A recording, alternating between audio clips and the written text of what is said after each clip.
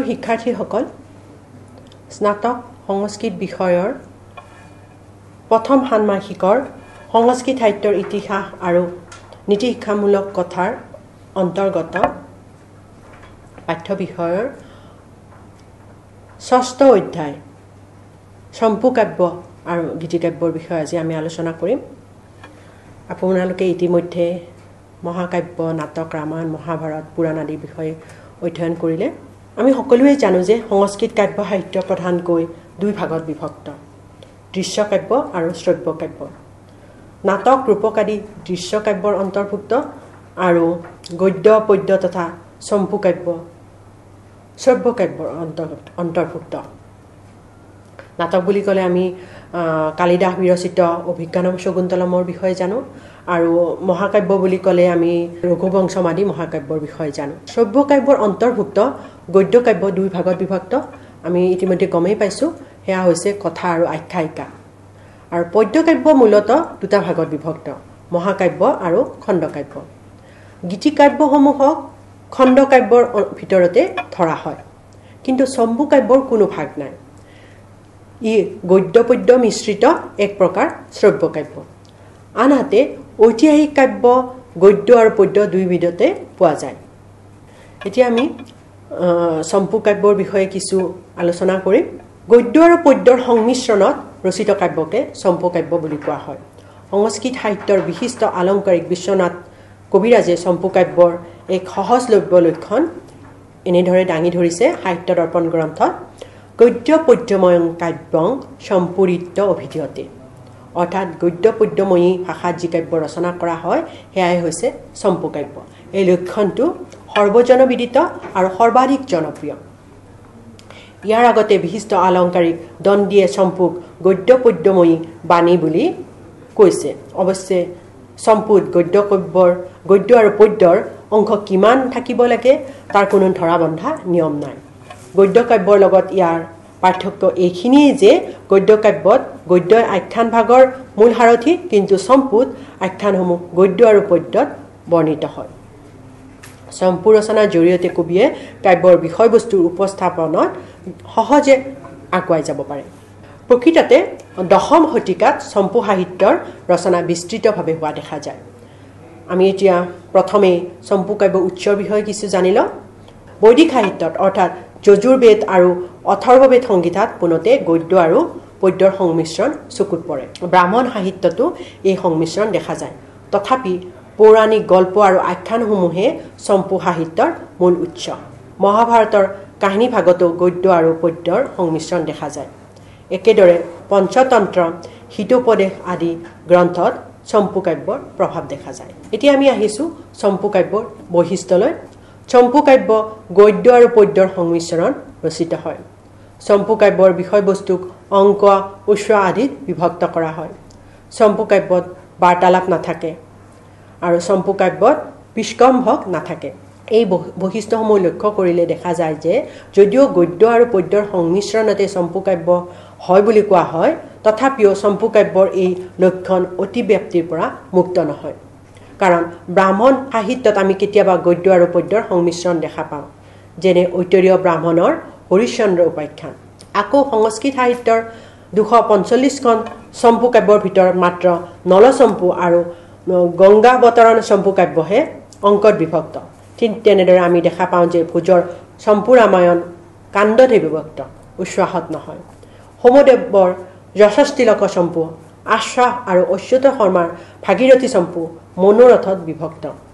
যদিও চম্পু কাব্যক উক্ত প্ৰত্যুক্তিৰহিত বুলি কোৱা হয় তথাপি আমি দেখা পাওঁ যে বিখ্যাত বিশ্বগুণাদৰ্শ চম্পু কাব্যত শ্ৰীকৃষ্ণ আৰু বিশ্বাৱসুৰৰ উক্তি প্ৰত্যুক্তিৰ উল্লেখ আছে।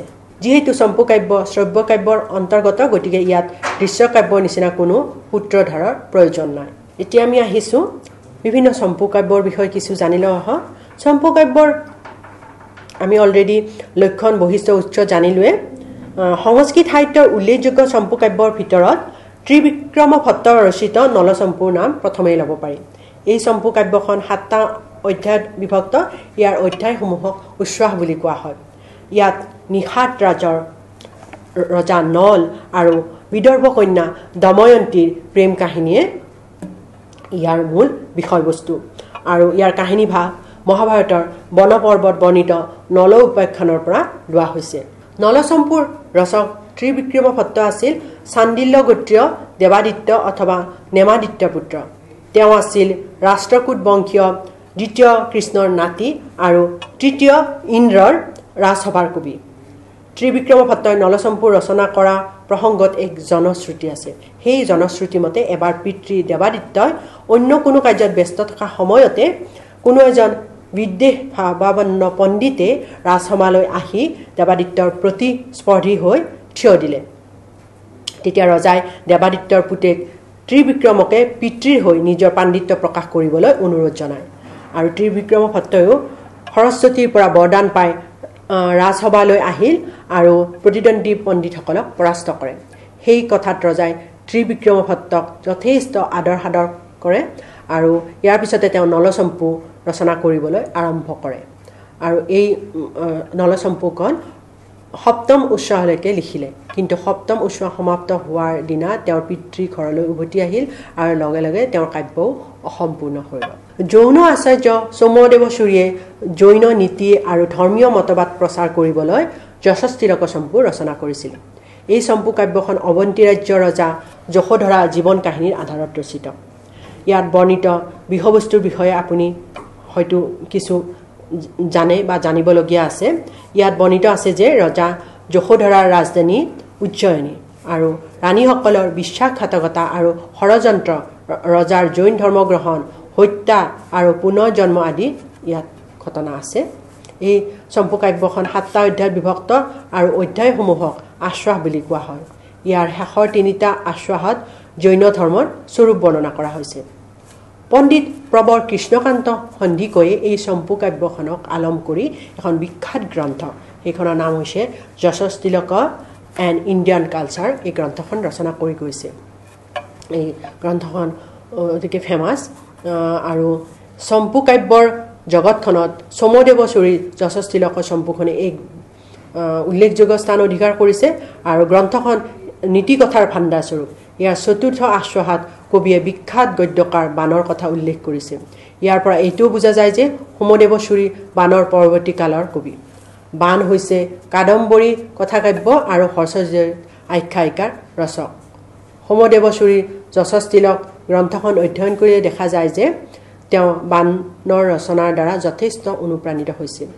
যশস্তিলক চম্পু কাব্যখন সম্বন্ধে বিশ্ববিখ্যাত সংস্কৃত পণ্ডিত কৃষ্ণকান্ত সন্ধিকৈয়ে এনেদৰে উল্লেখ কৰিছে apart from it special characteristics as a prose narrative Yashastilaka combine feature which bring it into relation with diverse branches of Sanskrit literature it is not only a Jain romance in prose and verse but a learned compendium of Jaina and non-Jaina philosophical and religious doctrines, a manual of statecraft and a great repository of Kagva poetry, ancient tales, citation and references and rumors, rare watch of lexical interest. Somadeva's uh, Yashastilaka is a work of massive scholarship and levant by occasional flashes of literary genius and poetic feeling. Krishnakanta Sandikai এনেদৰে উল্লেখ কৰি গৈছে এই চম্পু কাব্যখনৰ বিষয়ে। আন এখন উল্লেখযোগ্য চম্পু কাব্য হৈছে ৰামায়ণ চম্পু। পৰমাৰ ৰাজবংশীয় ধাৰাপতি ভোজৰ দ্বাৰা এই কাব্যখন ৰচিত। ভোজে ৰামায়ণ কথাৰ আধাৰত ৰামায়ণ চম্পু ৰচনা কৰে। এইখন এখন অতি জনপ্ৰিয় চম্পু কাব্য। ৰজা ভোজে ৰামায়ণ চম্পুৰ কিষ্কিন্ধা কাণ্ডলৈকেহে ৰচনা কৰে। যুদ্ধকাণ্ডখিনি পৰৱৰ্তী কালত লক্ষ্মণ নামৰ কবিয়ে ৰচনা কৰে। ৰামায়ণ চম্পুত কবিয়ে নিজ কাব্য কৌশলৰ প্ৰকাশ কৰিছে এই চম্পু কাব্যখনত প্ৰায় সকলো প্ৰকাৰ চন্দৰ প্ৰয়োগ দেখা যায়। আকৌ গদ্য কাব্যৰ নিচিনা কাব্যখনৰ ভাষা দীৰ্ঘ সমাহবহুল। কিন্তু পদ্যসমূহ সৰল আৰু বৰ্ণনা ৰীতি অতি সুন্দৰ। কবি অনন্ত ভট্টৰ দ্বাৰা ৰচিত আন এখন উল্লেখযোগ্য চম্পু হ'ল ভাৰত চম্পু। এই চম্পু কাব্যখন মহাভাৰতৰ কাহিনীৰ আধাৰতে ৰচিত হৈছে। কোৱা হয় অনন্ত ভট্ট অভিনৱ কালিদাস নামৰ কবিজনাৰ সমসাময়িক আছিল। ভাৰত চম্পুত বিভিন্ন শব্দৰ সমাহাৰ দেখা যায়। ইয়াৰ উপৰি কাব্যখনত অনেক অলংকাৰ আৰু চন্দৰো প্ৰয়োগ দেখা যায়। ভাগৱত চম্পু নামৰ এখন চম্পু কাব্য অভিনৱ কালিদাসে ৰচনা কৰে। এই চম্পু কাব্যখন ছয়টা উৎসাহত বিভক্ত। নীলকণ্ঠ বিজয় চম্পু কাব্য বুলি এখন চম্পু কাব্য আছে। এইখন চম্পু কাব্য পাঁচটা অধ্যায়ত বিভক্ত আৰু চম্পু কাব্যখনত সমুদ্ৰ মন্থনত উঠি অহা হলাহল পাণ কৰি মহাদেৱে অন্য দেৱতাসকলক ৰক্ষা কৰি নিজে নীলকণ্ঠ নাম পোৱা ঘটনা এই চম্পু কাব্যখনত বৰ্ণনা কৰা হৈছে। কাব্যখনত কবিৰ আৱেগিক অনুভূতি তথা কল্পনাসুলভ গুণৰ সুন্দৰ উপস্থাপন ঘটিছে। ছন্দ আৰু অলংকাৰ প্ৰয়োগৰ ক্ষেত্ৰতো কবিয়ে নিজ পাণ্ডিত্য দেখুৱাইছে। একেদৰে দীৰ্ঘ সমাবদ্ধ পদৰ ৰচনাত পদৰ ব্যৱহাৰো এই চম্পু কাব্যখনত বিদ্যমান। বিশ্ব গুণাদৰ্শ চম্পু কাব্যখনৰ ৰচক হ'ল ভেংকটাধ্বৰী বা ভেংকটাচাৰ্য। ভেংকটাচাৰ্যৰ সাহিত্যকৰ্ম নীলকণ্ঠৰ সমসাময়িক আছিল। এই কাব্যখন সপ্তদশ খ্ৰীষ্টাব্দৰ শেষৰ পালে ৰচিত হৈছিল। এই চম্পু কাব্যখনত কোনো প্ৰকাৰৰ নিয়মীয়া কথাবস্তু বৰ্ণিত হোৱা নাই। কাব্যখনত কবিয়ে মানৱ জীৱনৰ সমালোচনা দাঙি ধৰিছে। গ্ৰন্থখনত দুজন গন্ধৰ্বৰ কথা বৰ্ণিত হৈছে। গন্ধৰ্ব দুজনে পৃথিৱীৰ ওপৰেৰে আকাশ মাৰ্গেৰে বিচৰণ কৰি থাকোঁতে তেওঁলোকৰ মনত বিভিন্ন গুৰুত্বপূৰ্ণ তীৰ্থস্থান অনুষ্ঠান বিদ্যাৰ বিভিন্ন শাখা প্ৰশাখা আৰু গুণৰ আদিৰ বিষয়ে যিবোৰ ভাৱৰ উদয় হৈছিল তাকে কাব্যখনত প্ৰকাশ কৰা হৈছে তেওঁলোকৰ এজনে সেইবোৰৰ নিন্দা কৰি ক'লে আৰু আনজনে আকৌ সেইবোৰৰ সুন্দৰ দিশটোৰ ওপৰতহে মতামত দিলে। এনেদৰে কাব্যখনৰ মাধ্যমেৰে কবিজনাই তীৰ্থস্থান আদিৰ ভাল আৰু বেয়া দুয়োটা দিশ কথোপকথনৰ মাজেৰে উপস্থাপন কৰে। ৰচনাশৈলী ৰীতি ছন্দ আদি সৰ্বদিশৰ পৰা এইখন চম্পুকাব্য এখন উত্তম কাব্য বুলি গণ্য কৰিব পাৰি। গতিকে আমি এই অধ্যায়ত বহুকেইখন চম্পুকাব্যৰ বিষয়ে থুলমূল আভাস পালোঁ। এতিয়া আমি আহিছোঁ গীতিকাব্যৰ বিষয়ে। সংস্কৃত সাহিত্যৰ পৰম ৰমণীয় অংগস্বৰূপ হৈছে গীতিকাব্যসমূহ। ইংৰাজীত এই শ্ৰেণী কাব্যক লিৰিক পইম বুলি কয়। অতিশয় আৱেগিক অনুভূতিপূৰ্ণ আৰু সংবেদনশীল ভাৱযুক্ত তথা মাধুৰ্যময় কবিতাক গীতিকাব্য বোলা হয়। অৰ্থাৎ অতীৱ উৎকণ্ঠাপূৰ্ণ ভাৱানুভূতিৰে ৰচিত কাব্যকে গীতিকাব্য কোৱা হয়। সংস্কৃত সাহিত্যৰ এই শ্ৰেণীৰ মনোমোহা কাব্যক লঘু বা খণ্ডকাব্য অন্তৰ্ভুক্ত দেখা যায়। শৃংগাৰ বৈৰাগ্য ৰমণীৰ সৌন্দৰ্য তথা প্ৰাকৃতিক দৃশ্যৰাজিৰ বহুল বৰ্ণনা গীতিকাব্যত দেখা যায়। সেয়েহে পাঠকে এই শ্ৰেণী কাব্য অধ্যয়ন কৰি নিজে আনন্দত আত্মহাৰা হ'ব পাৰে। ভৰ্তিহৰি আৰু অমৰুৰ শতক কাব্যসমূহে হৈছে মুক্তক কাব্যৰ উত্তম উদাহৰণ। প্ৰবন্ধমূলক গীতিকাব্যৰ ভিতৰত মহাকবি কালিদাস ৰচিত মেঘদূত তথা ইয়াৰ অনুকৰণত ৰচিত সন্দেহ কাব্য বা দ্ৰুতকাব্যসমূহে উৎকৃষ্ট উদাহৰণ। গীতিকাব্যসমূহত বাহ্যিক তথা অন্তঃ প্ৰকৃতিৰ পৰম বৰ সুন্দৰ বৰ্ণনা পোৱা যায়। আৰু সংস্কৃত সাহিত্যৰ এখন উল্লেখযোগ্য গীতিকাব্য হ'ল মহাকবি কালিদাস ৰচিত মেঘদূত কাব্য। এতিয়া আমি আহিছোঁ গীতিকাব্যৰ উৎসৰ বিষয়ে। আমি সকলোৱে ঋগবেদৰ কথা জানো। এই ঋগবেদৰ পাতত থকা উশাহসুক্তত গীতিকাব্যৰ প্ৰথম চানেকি দেখা যায়। এই বুলি পণ্ডিতসকলে মত পোষণ কৰে। আনকি ইতিহাস পুৰাণৰ যুগতো ৰামায়ণ মহাভাৰত তথা অনেক পুৰাণৰ অংশ বিশেষত গীতিধৰ্মী কাব্যৰ নিদৰ্শন পোৱা যায়। অৱশ্যে কালিদাসৰ যুগৰ পৰা এই গীতিশাস্ত্ৰৰ স্বতন্ত্ৰ অস্তিত্ব দেখা পোৱা যায়। মহাকবি কালিদাসৰ মেঘদূত আৰু ঋতুসংহাৰকে এই শ্ৰেণী কাব্যৰ প্ৰথম নিদৰ্শন বুলি ধৰা হয়। গীতিকাব্যৰ ভাগসমূহৰ বিষয়ে আমি জানি লওঁ। গীতিকাব্যৰ ভাগসমূহক দুই ভাগত বিভক্ত কৰা হৈছে ভক্তিমূলক গীতিকাব্য আৰু শৃংগাৰ প্ৰধান গীতিকাব্য। ভক্তিমূলক গীতিকাব্যসমূহক স্ৰোতকাব্য বুলিও কোৱা হয় আৰু শৃংগাৰ প্ৰধান গীতিকাব্যসমূহক সন্দেশ কাব্য বুলিও কোৱা হয়। যিবিলাক গীতিকাব্যত আধ্যাত্মিক ভাৱনাৰ প্ৰাধান্য বেছি সেইবিলাক ভক্তিকাব্যৰ অন্তৰ্গত আৰু যিবিলাক গীতিকাব্যত শৃংগাৰ ভাৱৰ প্ৰাধান্য বেছি সেইবিলাক শৃংগাৰ বা সন্দেহ কাব্যৰ অন্তৰ্গত। সংস্কৃত কাব্যত শৃংগাৰ প্ৰধান গীতিকাব্য কেইবা প্ৰকাৰৰ। তাৰ ভিতৰত দ্ৰুতকাব্যসমূহেই প্ৰধান। এই দ্ৰুতকাব্যবোৰত প্ৰেমিক নাইবা প্ৰেমিকাই কোনোবা দ্ৰুতৰ জৰিয়তে নিজৰ প্ৰণয় বাৰ্তা প্ৰেৰণ কৰে। মহাকবি কালিদাসৰ মেঘদূত খণ্ডকাব্যখন আৰু ঋতুসংহাৰ কাব্যখন শৃংগাৰ প্ৰধান গীতিকাব্য আৰু জয়দেৱৰ দ্বাৰা ৰচিত বিখ্যাত গীত গোবিন্দ পুথিখন ভক্তিমূলক গীতিকাব্যৰ অন্তৰ্ভুক্ত। এই মহাকবি কালিদাসে যথাসম্ভৱ ৰীতিসংহাৰেৰে নিজৰ কবি জীৱনৰ পাতলি মেলিছিল। তেওঁৰ মেঘদূত কাব্যখন ইংৰাজী জাৰ্মান তিব্বতী চীনা আদি বিভিন্ন ভাষালৈ অনুদিত হৈছে। মেঘদূতৰ প্ৰাচীনতম অনুবাদ ত্ৰয়োদশ শতিকাত তিব্বতী ভাষাত পোৱা যায়। এই অনুবাদৰ অৱলম্বনত জাৰ্মান পণ্ডিত এজনে মেঘদূত কাব্যখন জাৰ্মান ভাষালৈও অনুবাদ কৰে। আৰু মেঘদূত খণ্ডকাব্যখনৰ এশ পঁচপন্নটা শ্লোক মন্দাক্ৰান্ত চন্দত ৰচিত।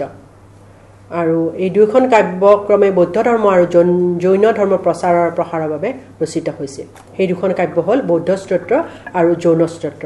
এই দুখন স্ত্ৰোত কাব্য ভক্তিমূলক গীতিকাব্যৰ অন্তৰ্ভুক্ত আৰু এই দুয়োখন কাব্যক্ৰমে বৌদ্ধ ধৰ্ম আৰু জৈন ধৰ্মৰ প্ৰচাৰ আৰু প্ৰসাৰৰ বাবে ৰচিত হৈছিল। এতিয়া আমি বিভিন্ন গীতিকাব্যৰ বিষয়ে কিছু জানিলোঁ আহক মহাকবি কালিদাসৰ দ্বাৰা ৰচিত ঋতুসংহাৰ শৃংগাৰ প্ৰধান গীতিকাব্যৰ অন্তৰ্ভুক্ত। এই খণ্ড কাব্যখনত ভাৰতবৰ্ষত সততে দেখা পোৱা ছটা ঋতুৰ সুন্দৰ বৰ্ণনা পোৱা যায় আৰু ঋতুসংহাৰ নামটোৱে ঋতুসমূহৰ সমাহাৰ বা সমষ্টিক বুজায়। ইয়াত কবিজনে ক্ৰমে গ্ৰীষ্ম বৰ্ষা শৰৎ হেমন্ত শীত আৰু বসন্ত এই ছয় ঋতুৰ সুন্দৰ বৰ্ণনা কৰিছে। আৰু ছয় ঋতু বৰ্ণনা কৰাৰ লগতে প্ৰত্যেক ঋতুৰ আগমনত বাহ্যিক জগত তথা মানৱ হৃদয়ত যি পৰিৱৰ্তন দেখা যায় আৰু প্ৰেমিক প্ৰেমিকাৰ অন্তৰত যি অপূৰ্ব ভাৱৰ সৃষ্টি হয় সেইবোৰে এই কাব্যৰ বিষয়বস্তু। এই কাব্যখন বসন্ত ঋতুৰ বৰ্ণনাৰে সমাপ্ত হৈছে। কালিদাসে ঋতুসমূহৰ বৰ্ণনা কৰোঁতে বাল্মীকিৰ ৰামায়ণৰ বৰ্ণনা সন্মুখত ৰখা যেন বোধ হয়।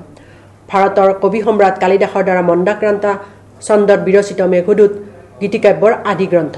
এই কাব্যখন দুটা ভাগত বিভক্ত পূৰ্বমেঘ আৰু উত্তৰমেঘ বাল্মীকিৰ ৰামায়ণত ৰামৰ সীতাহৰণৰ যি চাহ তাৰ অনুপ্ৰেৰণাতে কালিদাসে মেঘদূত ৰচনা কৰিছে যেন বোধ হয়। ইয়াৰ কাহিনীভাগ বৰ মৰ্মস্পৰ্শী বিষয়বস্তুৰ উপজীব্য কৰি ৰচনা কৰা হৈছে। প্ৰভু কুবেৰৰ আদেশ পালনত ব্যৰ্থ হৈ ৰামগিৰি নিবাসী যক্ষই আকাশত বাৰিষাৰ মেঘ দেখা দিয়াৰ লগে লগে অদম্য বাসনত ব্যাকুল হৈ জড় চেতনাৰ কথা পাহৰি মেঘখণ্ড প্ৰিয়তমাৰ ওচৰলৈ বাতৰি নিবলৈ অনুৰোধ কৰিছে। আৰু কাব্যখনৰ পূৰ্ব মেঘত বাহ্য প্ৰকৃতিৰ মনোৰম চিত্ৰাংগন দেখা যায় আৰু উত্তৰ মেঘত অন্তঃ প্ৰকৃতিৰ সুন্দৰ বৰ্ণনা দেখা যায়। মেঘদূত কাব্য কাব্যত নৰ্মদা নদী বিদিশা নগৰী বেত্ৰৱতী নদী অৱন্তী ৰাজ্য ৰাজধানী উজ্জয়িনী আদিৰ বৰ্ণনা পোৱা যায়। উত্তৰ মেঘত অলকাপুৰীৰ সুন্দৰ বৰ্ণনা পোৱা যায়।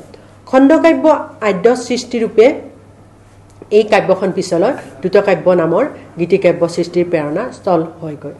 দ্ৰুতকাব্যৰ ভিতৰত নেমিদূত পৱনদূত হংসদূত আদি উল্লেখযোগ্য।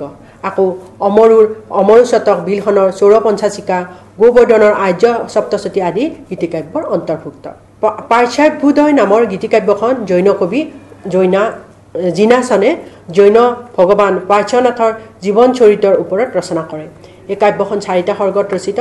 কাব্যখনত থকা তিনিশ চৌষষ্ঠিটা শ্লোকৰ ভিতৰত মাত্ৰ এশ বিছটা শ্লোক মেঘদূত কাব্যত পোৱা যায়। ঘটকৰ্প নামৰ গীতিকাব্যখন মেঘদূতৰ অনুপ্ৰেৰণাতে ৰচিত হৈছে। এই কাব্যখন মাত্ৰ বাইছটা শ্লোকত ৰচিত। পৰম্পৰা মতে বিক্ৰমাদিত্য ৰাজ্যৰ ৰাজসভাৰ পণ্ডিত এজনে মেঘদূত কাব্যৰ দ্বাৰা অনুপ্ৰাণিত হৈ এই কাব্যখন ৰচনা কৰিছিল। কাব্যখনৰ কোনো কোনো পাণ্ডুলিপিত ৰচক হিচাপে মহাকবি কালিদাসৰ নামো পোৱা গৈছে। কাব্যশাস্ত্ৰৰ প্ৰসিদ্ধ আচাৰ্য অভিনৱগুপ্ত এই ঘটকৰ্পৰ গীতিকাব্যৰ ওপৰত এটা টীকাও লিখে। মূলতঃ বৰ্ষা ঋতুৰ আগমনত কোনো বিৰহী ৰমণীয়ে দূৰত থকা নিজৰ প্ৰেমিকলৈ মেঘৰ জৰিয়তে পঠোৱা এক বাৰ্তাৰ আৰাম লৈ এই কাব্যখন ৰচনা কৰা হৈছে। সেই ফালৰ পৰা এই কাব্যখনক সম্পূৰ্ণৰূপে মেঘদূতৰে ক্ষুদ্ৰ অনুসৰণ বুলি ক'ব পৰা যায়। ঘটকৰ্পৰ আৰু কালিদাসৰ ৰচনাই পৰৱৰ্তী কালৰ সংস্কৃত কাব্য সাহিত্যত যথেষ্ট প্ৰভাৱ বিস্তাৰ কৰে। নেমিদূত নামৰ কাব্যখন সপ্তদশ শতিকাত বিক্ৰম নামৰ এজন কবিয়ে ৰচনা কৰে আৰু কাব্যখন কবিয়ে স্বামী নেমিনাথৰ জীৱনীৰ ওপৰত ৰচনা কৰে। ইয়াত মেঘদূতৰ এশ পঁচিছটা শ্লোক উদ্ধৃত হৈছে। পৱনদূত নামৰ গীতিকাব্যখন ত্ৰয়োদশ খ্ৰীষ্টাব্দত ধুইয়ে ৰচনা কৰে। এই গীতিকাব্যখনো মেঘদূতক আলম কৰিয়ে ৰচনা কৰা হৈছে।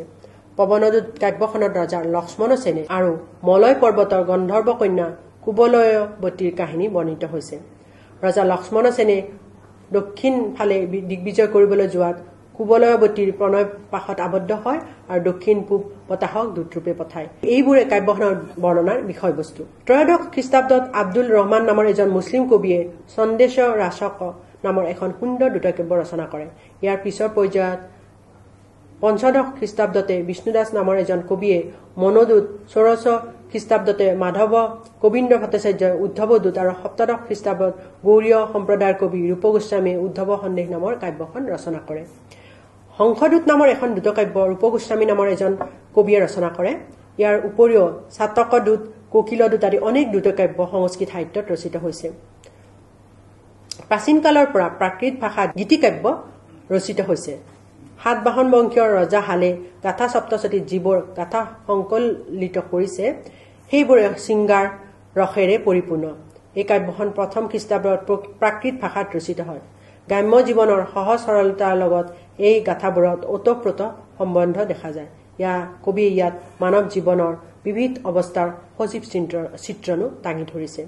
ইয়াৰ পিছত হালৰ গাথা সপ্তশতীৰ আৰ্হিত গোবৰ্ধনে সংস্কৃতত আৰ্যা সপ্তশতী ৰচনা কৰে। তেওঁ আছিল বংগ ৰজা লক্ষ্মণ সেনৰ সভাকবি তথা কবি জয়দেৱৰ সমকালীন। অমৰু শতক নামৰ গীতিকাব্যখন কবি অমৰুৱে ৰচনা কৰিছিল। অমৰু নৱম খ্ৰীষ্টাব্দৰ পূৰ্বৰ কবি বুলি জনা যায়। অমৰু শতক কাব্যখন এশ শ্লোকৰ সমষ্টি। কাব্যখনৰ পদ্যসমূহ অতি মনোগ্ৰাহী। বিভিন্ন চন্দ্ৰৰ লগতে দীঘল দীঘল সমাসৰ সুন্দৰ সমাৱে এই কাব্যখনত দেখা যায়। এই গীতিকাব্যখন শৃংগাৰসৰ সুন্দৰ নিদৰ্শন। প্ৰবাদ মতে ভগৱান আদি শংকৰাচাৰ্যই মণ্ডন মিশ্ৰৰ পত্নী ভাৰতীৰ লগত ৰতিশাস্ত্ৰ বিষয়ক প্ৰশ্নৰ যথাযথ উত্তৰ দিয়াত অসমৰ্থ হোৱাত অমুৰ নামৰ এজন ৰজাৰ দেশত থাকি অন্তঃপুৰত ৰাণীৰ সত্তে বহুদিন বসবাস কৰি ৰতি সম্বন্ধে যথেষ্ট জ্ঞান লাভ কৰে আৰু সেই ৰতি সম্বন্ধীয় অভিজ্ঞতাৰে অমৰুচতক গীতিকাব্যখন ৰচনা কৰে। কাব্যখনত ভাষা যিটো লালিত্য প্ৰেমৰ যি গভীৰত্ব সেই সুন্দৰভাৱে প্ৰকাশ ঘটিছে। চৌৰ পঞ্চাচিকা নামৰ গীতিকাব্যখন একাদশ শতিকাত কাশ্মীৰী কবি বিলখনে ৰচনা কৰে। এই গীতিকাব্যখনত পঞ্চাছটা শ্লোক আছে। প্ৰতিটো শ্লোকত কবিয়ে প্ৰেমিক প্ৰেমিকাৰ প্ৰণয়ৰ মধুৰ বৰ্ণনা দাঙি ধৰিছে। বৰ্ণনা মতে কবি বিলখন গুজৰাটৰ ৰজা বীৰসিংহৰ কন্যাৰ গৃহ শিক্ষক ৰূপে নিযুক্ত হৈছিল। সময়ত বিলখন আৰু ৰাজকন্যাৰ মাজত গভীৰ প্ৰেম গঢ়ি উঠে। সেই কথা ৰজাৰ কাণত পৰিলত। ৰজাই খঙত অগ্নিশৰ্মা হৈ বিলখনক মৃত্যুদণ্ডৰ আদেশ দিয়ে। এদিনাখন বিলখনক মৃত্যুদণ্ডৰ বাবে বৌদ্ধভূমিলৈ লৈ যোৱা হল। সেই সময়ত বিলখনে যাত্ৰা পথত প্ৰেমিকক উদ্দেশ্য কৰি মুখে মুখে পঞ্চাছটা শ্লোক ৰচনা কৰি শেষৰ শ্লোকটো গাই থাকোতে ঘাতকে ৰজাৰ ওচৰলৈ গৈ সকলো কথা বিৱৰি পোৱাত ৰজাই বিলখনক ক্ষমা কৰি বিধিমতে নিজ কন্যাক দান কৰে। গীতিকাব্যৰ অন্তৰ্গত শ্ৰোতকাব্য বা ভক্তিকাব্যসমূহ ভক্তি ভাৱাপন্ন আৰু সেইকাৰণে সমাজত অতি জনপ্ৰিয়। শৃংগাৰৰ ৰসাত্মক গীতিকাব্যৰ লগে লগে এই ভক্তিমূলক গীতিকাব্যসমূহক সংস্কৃত কবিসকলে ধৰ্মীয় আৰু দাৰ্শনিক অনুভূতি সম্পন্ন শ্ৰোতাসকলক উদ্দেশ্যে সৃষ্টি কৰিছিল। নিজৰ উপাস্য দেৱ দেৱীৰ প্ৰতি কবিৰ হৃদয়ত উদ্ভাসিত হোৱা সংবেদনশীল ভাৱৰ অনুভূতি এনেবোৰ কাব্যৰ যোগেদি প্ৰকাশিত হৈছে। এই ভক্তিগীতসমূহত কেতিয়াবা উপাস্য দেৱ দেৱীৰ শাৰীৰিক সৌন্দৰ্যৰ বৰ্ণনাও পোৱা যায়। শ্ৰোতকাব্য বা ভক্তিকাব্যসমূহৰ ভিতৰত কালিদাসৰ শ্যামলা দণ্ডক কাব্য অতি প্ৰাচীন। এই কাব্যখনৰ ৰচক কালিদাস বুলি কোৱা হয় যদিও ই সম্পূৰ্ণ সত্য বুলি প্ৰমাণিত নহয়। কাব্যখনত দেৱী সৰস্বতীৰ স্তুতি বৰ্ণনা কৰা হৈছে। গদ্য কবি বানে সপ্তম শতিকাত চণ্ডী শতক নামে এখনি ভক্তিমূলক গীতিকাব্য ৰচনা কৰিছিল। কাব্যখনত এশ দুটা শ্লোক আছে। মাৰ্কণ্ডেয় পুৰাণত বৰ্ণিত দেৱী মাহাত্ম এই কাব্যখনৰ উৎস। এইখন কাব্যত দেৱী চণ্ডীৰ স্তুতি ৰচনা কৰা হৈছে। কাব্যখনত দীঘল দীঘল সমা আৰু বিভিন্ন অলংকাৰৰ সমাহাৰ দেখা যায় সূৰ্য শতক কাব্যখন ময়ূৰে ৰচনা কৰিছিল। কিংবদন্তী মতে ময়ূৰ বানৰ শহুৰেক আছিল বান আৰু ময়ূৰ দুয়োজনাই সপ্তম শতিকাৰ পূৰ্বভাগৰ কবি আছিল। এই কাব্যখনত এশ এটা শ্লোকত সূৰ্যদেৱৰ স্তুতি কৰা হৈছে। ইয়াৰ উপৰি সূৰ্যদেৱতাৰ বিভিন্ন অংগ ৰথ আৰু ঘোঁৰা আদিৰ বৰ্ণনাও কৰা হৈছে। গান্ধী স্তোত্ৰ গাথা নামৰ গীতিকাব্যখন সপ্তম খ্ৰীষ্টাব্দত অশোকে ৰচনা কৰে। অশোকৰ পিছত মাতৃশ্বেতে চতুশতক আৰু অৰ্ধ শতক নামৰ দুখন স্তুতিকাব্য ৰচনা কৰে। এই কাব্য দুখন তিব্বতী ভাষালৈ অনুমিত অনুদিত হৈছে। ঠিক তেনেদৰে সুপ্ৰভাত স্তোত্ৰ আৰু অষ্টক মহাশ্ৰী চৈত্য স্তোত্ৰ এই দুখন কাব্য ৰজা হৰ্ষণে ৰচনা কৰে। কাব্যখনত বৌদ্ধ ধৰ্মৰ বিষয়ে কিছু উল্লেখ পোৱা যায় আৰু চতুস্তৱ নামৰ এখন বৌদ্ধ চৰিত্ৰ আচাৰ্য নাগাৰ্জুনে ৰচনা কৰে। এই কাব্যখনো তিব্বতী ভাষালৈ অনুদিত হৈছে। শ্ৰৌতৰত নামৰ এখন শ্ৰৌত কাব্য যমুনা আচাৰ্যই দশম শতিকাত ৰচনা কৰে। এই কাব্যখন বৈষ্ণৱ ধৰ্মৰ উপদেশ প্ৰচাৰ কৰিবলৈ ৰচনা কৰা হৈছিল। কৃষ্ণ কৰ্ণামৃত নামৰ শ্ৰৌত কাব্যখন লীলাচুকে ৰচনা কৰে আৰু লীলাচুক অতিকৈ কৃষ্ণ ভক্ত আছিল আৰু তাৰ প্ৰভাৱ এই কাব্যখনত দেখা যায়। বালক কৃষ্ণ নানান লীলাৰ বৰ্ণনা থকা এই কাব্যখন তিনিশ শ্লোকৰ সমষ্টি। কাব্যখনত গোপবধূসকলৰ কৃষ্ণ ভক্তিৰ বৰ্ণনা পোৱা যায়। গ্ৰন্থখন তিনিটা আশ্ৰহাত বিভক্ত। এই কাব্যখনত ৰাস ক্ৰীড়াৰ বৰ্ণনাও পোৱা যায়।